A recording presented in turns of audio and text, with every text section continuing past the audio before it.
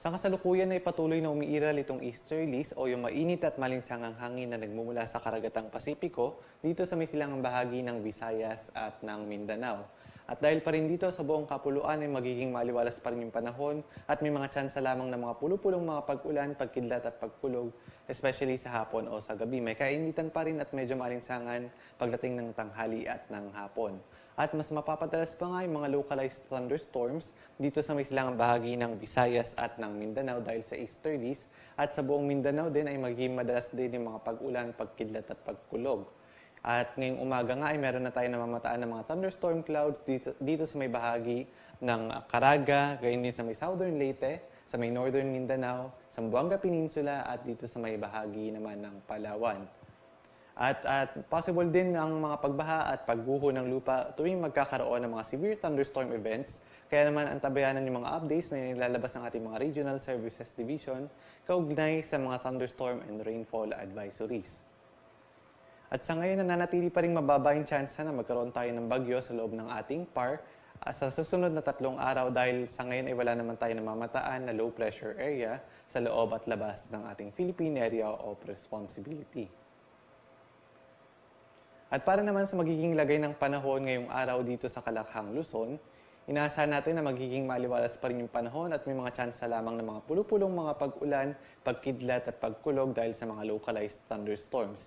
May kainitan pa rin lalong-lalo na sa tanghali at sa hapon at um, mata, ma, uh, mas mataas yung tsansa ng mga pag-ulan pagdating ng hapon at ng gabi dulot ng mga localized thunderstorms. Agwat ng temperatura sa may lawag na sa 23 to 32 degrees Celsius, sa may Tuguegarao 24 to 34, sa may Baguio City ay 16 to 26, sa Metro Manila 25 to 33 degrees Celsius, Tagaytay 21 to 31, sa may Kalayaan Islands ay nasa 26 to 33, at dito naman sa bahagi ng Legazpi at Puerto Princesa, ang agwat temperatura ay nasa 25 to 32 degrees Celsius. At para naman sa magiging lagay ng panahon dito sa Kalakang Visayas at Mindanao, inaasahan natin na nasa buong maghapon ay generally fair weather conditions pa rin ang mararanasan. Although mas mapapadalas nga yung mga thunderstorms dito sa may silangang bahagi ng Visayas at sa may buong Mindanao. At ang agwat ng temperatura sa may Iloilo ay nasa 26 to 33 degrees Celsius, sa may Metro Cebu 26 to 32, sa may Tacloban ay 25 to 32 degrees Celsius, Cagayan de Oro 24 to 31, sa may Zamboanga City ay 25 to 33 at sa may Metro Davao naman ay nasa 24 o 25 to 34 degrees Celsius. At para naman sa kalagayan ng ating karagatan, sa ngayon ay wala tayong nakataas na gale warning sa anumang baybayin ng ating bansa. Kaya naman malaya pa rin makakapalaot yung ating mga kababayang mga isda at may maliliit na sasakyang pandagat. Banayad hanggang sa katamtaman lamang ng mga pag-alon ang mararanasan sa buong maghapon sa buong kapuluan.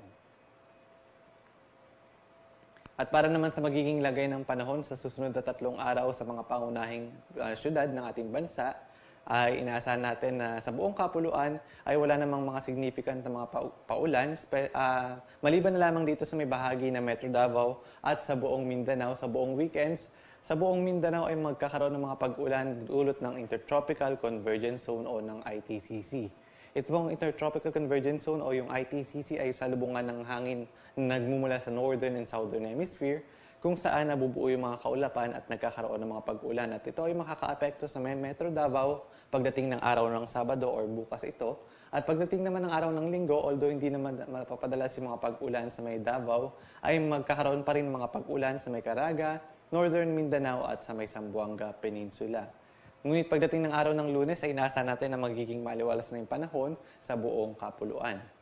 Agwat ang temperatura sa Metro Manila ay nasa 23 to 34 degrees Celsius, sa Baguio City 16 to 26 degrees Celsius, sa Legazpi ang agwat ng temperatura ay nasa 24 to 32 degrees Celsius, Metro Cebu 26 to 32, at dito naman sa may Metro Davao ang agwat ng temperatura ay nasa 25 to 34 degrees Celsius.